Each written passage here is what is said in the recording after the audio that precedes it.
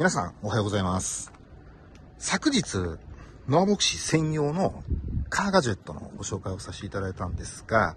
今回もノアボクシ専用品ということで、カーガジェットのご紹介をいたしますので、最後までぜひ見ていっていただけますと幸いです。で、今、ブレーキランプ点灯してるのがお分かりいただけると思うんですけれども、実はこちら、今回ご紹介するのは、リプティコというメーカーさんがリリースしております、こちら。バック連動タイプの LED リフレクター。こちらのご紹介を今回いたしますので、興味のある方はぜひご覧になっていただければと思います。また、こういったですね、光物というのは結構人気があるというか、皆さん、つけたいなと思われる方もいらっしゃるかと思うわけなんですけれども、こちらの取り付け方法も含めて今回ご紹介をしていきたいと思いますので、最後までぜひご覧になっていただければと思います。で、こちらなんですけれども、どのようになってるのかっていうのをちょっとご紹介していこうと思うんですけれども、今、ブレーキランプが点滅、点灯してる状態なんですけれども、ブレーキランプを踏まない状態ですと、点灯がしないようになっています。で、さらに、こちらのパターンを見ていただければと思うんですが、はい、このような形で、今、微灯を焚いています。昼間なので、後ほど夜の写真も載せておきますので、そちらも見ていただければと思うんですけれども、ここ光ってます。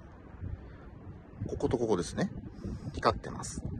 で、さらに、下のリフレクターも実は光っております。明るさとしては2段階で、微灯の時とブレーキランプを踏んだ時。で、もう一度ブレーキランプ踏んでみたいと思うんですけれども、はい、もうお分かりいただける方も多いと思うんですが、ブレーキランプを踏むことによって、より明るくなるということで、2段階の輝度の設定になっているリフレクターになっております。で、今、昼まで、今朝9時半ぐらいなんですけれども、ちょうど今、東から火が出ている状態で、こう照らされてる状況なんですが、それでも点灯してるのがお分かりいただけるぐらい非常に明るくなっております。ちょっとズームして見てみようと思うんですけれども、このようにもう光ってるのが一目瞭然お分かりいただけるのが分かると思います。左の方も同様なんですけれども、これだけ明るい状況なんですけれども、光ってるのがお分かるぐらい存在感が高い、非常に輝度値の高いリフリフレクターになっているということになります。この状態からまたブレーキ離してみて、微灯から消灯してみたいと思います。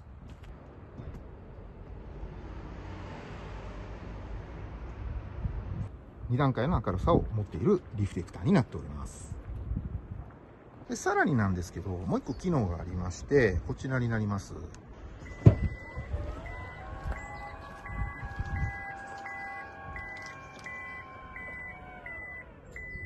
はい、今ハッチ開けたんですけれども、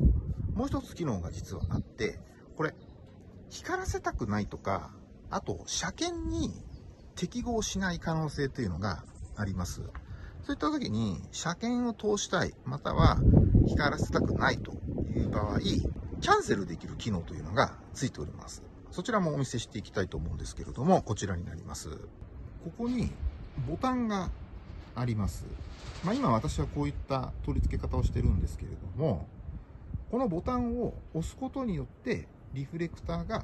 オンオフになる機能というのもついております。そちらもお見せしていきたいと思います。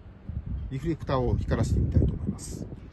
まあ、今、リフレクターが光っている状態で、ブレーキランプをふん、ブレーキを踏んでいる状態になります。で、これで、ここのリフ、このリフレクターを、LED を切りたいという場合はどうすればいいかと言いますと、ボタンを押していただけますと、切ることができまして、純正と同等の見た目を確保できるというところも、こちらのリプティコのリフレクターの機能となっております。また、今、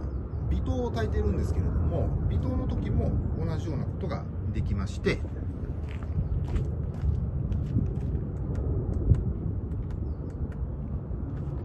このようにボタンのオンオフによって微灯の状態も消すことができると。いうことになりますので、お好みに応じてリフレクター LED を点灯するのか消灯するのかということを使い分けることもできるようになっていると。いうことになっております。次にですね気になる取り付け方法ですね。自分でもちゃんとできるのかなっていうところをすごく気になされる方も多いと思うのでご紹介をしていきたいと思うんですけれども取り付けは非常に簡単ですただ慣れていないとちょっとね、難しいところもあったりするというふうに思われる方もいらっしゃるかもしれないんですが、まあ、そこは個人差があるかと思います。で、取り付けすると、取り付けするときに、一つ準備していただきたいものがあります。昨日もボクシーの社内のガジェット紹介でもさせていただいたんですけれども、こちらです。これ。これ、業務用の内装を取り外す、あとはまパネルの取り外し等で使うためのヘラになるんですけれども、これを準備していただきたいなと思います。こちらになりますね。でこれのね、いいところは何かというと、通常のヘラってこう薄っぺらいじゃないですか。これはね、ものすごくね、硬い、硬いものになってるんですよ。だからこう、しなりにくくなってるから、取り外す時に、ダイレクトに力が加わってくれるので、外しやすくなっているものになっています。こういったちゃんとした工具を用意していただく必要というのがあります。Amazon 等でも今普通に手に入ると思いますので、見ていただければと思いますし、またリンク先、めんどくさいなって思われる方もいらっしゃると思うので、貼っておこうと思います。で、それを使っていただいいただいた上で、このリフレクターを外していただくということになるわけなんですけれども、結構取り外すのは相当硬いです。それは何でかと言いますと、これ取り外した純正の小糸製作所で作られている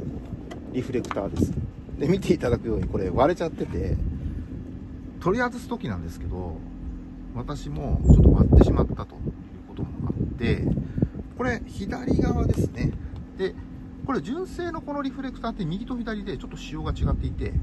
左はまこういう向きになりますけれども、ワンピースになっています。で、右はどうかと言いますと、右はね、2ピースになってるんですよね。おそらく何かの横転のために、右は2ピース、で、左は1ピースということで分けてるのかもしれないんですけれども、まあ、このようになっておりますんで、右は取り外しは割としやすいんですが、左はね、結構取り外しがしにくい。破損してしまう場合というのがあるので、ご注意していただければと思います。で、なんで硬いかっていうことなんですけど、このようにですね、まず、これ上の部分なんですけども、爪が4つ、これだけごっつい爪がはまってます。で、また、こっちのね、爪の方がね、すっごい強力なんですけれども、これ、もうペラペラなヘラで取り外すということはもうできないぐらい非常に硬くはまってますんで、計8箇所ですね、はまってる部分があって、これで締結されてるんで、取り外しをするのには力を、力がかかる工具が必要というわけになります。で、こちらの方が右側なんですけれど、右側4箇所、5箇所か、止まってます。で、ここも、こっちもね、結構硬くて、で、爪が入るところがね、まあ、私のやり方が悪かったっていうのもあると思うんですけど、こう上から外してったんですね。爪が入るとかちょうど上が、上の方だったので。で、こうやってほじっていくとね、この辺で割れちゃうんですよね。応力がかかってしまって。なので、取り外すときは、まんべんなく全体的に取り外されていった方が、この純正のリフレクターを破損せずに取り外すことができるかと思います。こちらのバンパー側取り外した状況、後ほど動画編集の時に写真載せておきますので、そちら見ていただければと思うんですけれども、まあ、取り外すと穴が開いてるのがお分かりいただけると思うんですが、まあ、そこから配線を引き伸ばしていくという状況です。まずはとにかく、このリフレクター左右取り外す必要があるということになりまして、しっかりとした道具を使っていただく必要があるよということをまず一つお伝えしておこうと思います。次に取り外すところなんですけれども、このリアのテールのライト、これを外す必要っていうのがあります。で、これはですね、LED のバルブ、ウィンカーバルブご紹介してるんですけれども、あちらでも取り外し方法っていうのは紹介してますので、ご覧いただければと思うんですけれども、非常に簡単で、こちらのボルト2本外していただければ、あとはこう、引きにくだけと。ただ、このバンパーに干渉するところっていうのが、爪があるんですね。クリップにはまる爪があって、そこが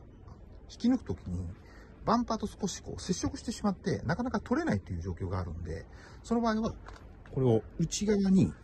少しリリースした状態でこう引っ張っていただけると、取り外しが楽になるかと思いますので、やってみていただければと思います。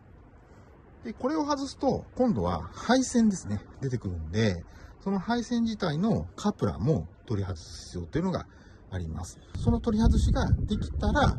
純正のカプラーを取り外しましたら、付属されている配線キットがありますので、その配線を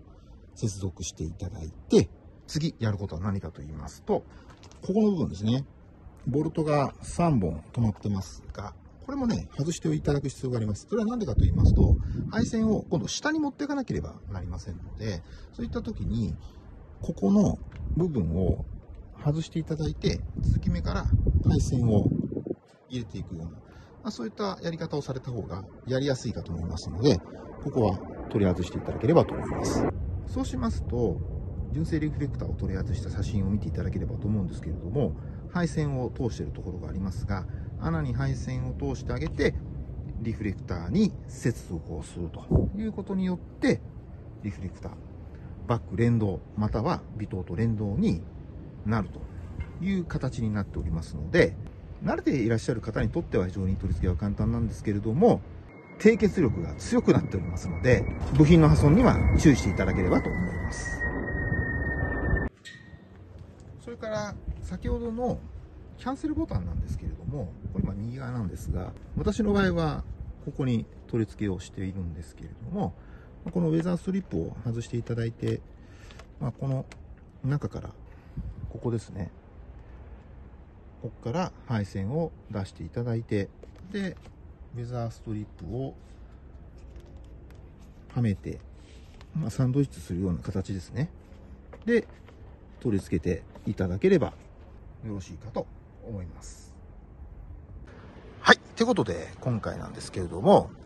リプティコさんからリリースされております、ノアボクシー専用設計のリフレクター、こちらのご紹介を本日はいたしました。まあ私自身こちら取り付けてみてですね、まあ取り付けられるんだったら取り付けた方がいいなと思いました。でそれは何でかと言いますと、やはり最近の車って、まあここにストップランプがついてて、でもう一つこっちにもありますけれど、あとはハイマウントですね。ここにハイマウントあるんですけど、これ今横から撮ってるんですけど、ハイマウントが点灯してるのが少し分かりにくいですよね。で、真正面から見ると、まあ、映ってるのがわかる。点灯してるのがわかるよということなんですけれども、ちょっとですね、光物がかなり少なくなってる。まあ今 LED になってるので、できるだけ光物もコンパクトに小さくまとめる方向のデザインに今なってるわけなんですけれども、少し不安な部分もあるかと思います。本当にこれ気づいてくれるのかなっていうところもあったりすると思うんですけど、これつけることによってかなり後ろが明るくなりますんで、後ろから追突されるリスクというか、まあ、そういったものもかなり少なくなると思うので、後ろの後方ドライバーさんの注意喚起にも一役買うことになりますし、また、夜、非常に綺麗です。で、光り物やっぱり、私自身もそうなんですけども、まあなぜ光り物が好きなのかどうかっていうのはちょっと定かではないんですが、こういったガジェット系結構皆さん興味を持たれる方も多いと思いますし、私もウインカーバルブに関しては、ノアボクシー、ハロゲンなので、LED に変えてるんですけれども、まあ、そういった光り物をですね、こう変えたりすることっていうのが結構あるかと思います。まあ、そういった意味では、これ、ただ反射板としてあるだけではもったいないですし、キャンセルスイッチがついておりますので、反射板として使うこともできますので、2つの機能を持たせたリフレクターを装着するということも機能の拡張になって、非常に満足度としては高いものになるんではないかなと思いました。ま、こちらの商品の詳細なんですけれども、概要欄の方に貼っておりますので、ぜひそちらの方もご確認いただければと思います。それではまた次回の動画でお会いできることを楽しみにしております。失礼をいたします。